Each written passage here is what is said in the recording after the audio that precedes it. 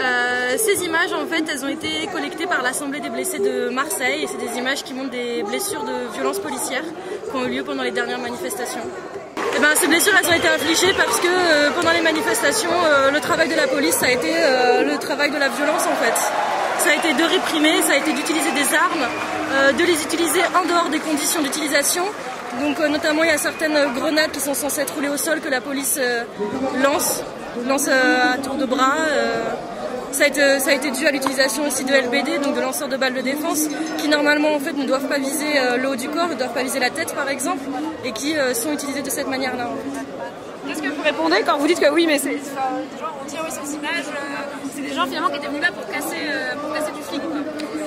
Eh ben, euh, je ne savais pas que les gens euh, connaissaient chaque personne qui avait été blessée, connaissaient euh, la condition et les circonstances de la blessure à chaque fois. Moi, je pense que ce qu'il faut remarquer, en fait, c'est que justement, les blessures policières, là, elles touchent tout le monde, en fait. Elles touchent pas plus les casseurs ou, plus d'autres personnes. Chaque personne a été touchée, chaque personne peut être touchée par les armes de la police. Et du coup, ce qu'il faut, c'est justement s'organiser ensemble. Euh, c'est se rencontrer, c'est discuter, c'est échanger, c'est euh, prendre des conseils euh, médicaux, prendre des conseils juridiques et montrer que quand on est blessé par la police, on n'est pas seulement une victime, on est quelqu'un qui réagit, on est quelqu'un qui est quand même capable d'avoir des moyens d'action des images qui, la majorité, sont euh, de manifestations à Marseille, mais il y a aussi des images d'autres villes, notamment de Lyon, de Lille. Euh, mais quand on regarde aussi ce qui s'est passé à Nantes ou à Rennes, il y a des personnes qui ont clairement été tabassées par la police. Et il y a même un étudiant qui a perdu un œil à Rennes.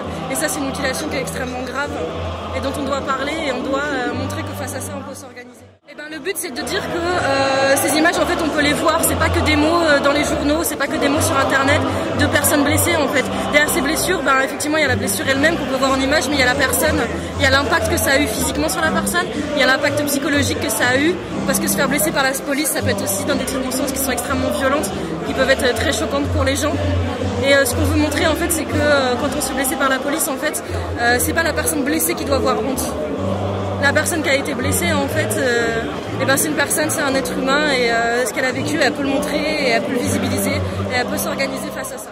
Euh, la police doit arrêter d'avoir tous les pouvoirs dans les médias et doit, doit arrêter d'avoir la complaisance de la justice dans beaucoup trop d'affaires.